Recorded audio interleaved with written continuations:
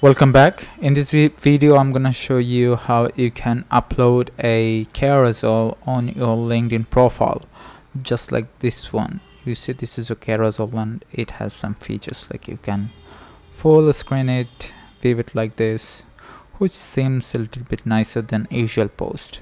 So LinkedIn doesn't have a direct um, option to post carousel just like Instagram.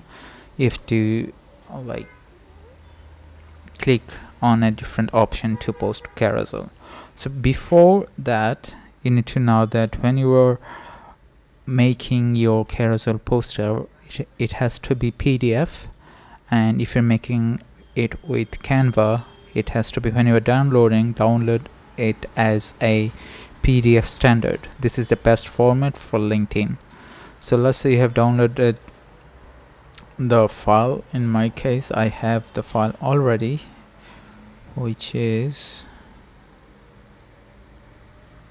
here's the file.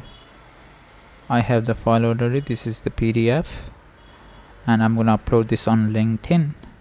So let's go to my page. This is my home page. I'm gonna click on start a post then click on this three uh, dot button and then click on add a document then choose file. Choose the file. Then you can add a title if you want.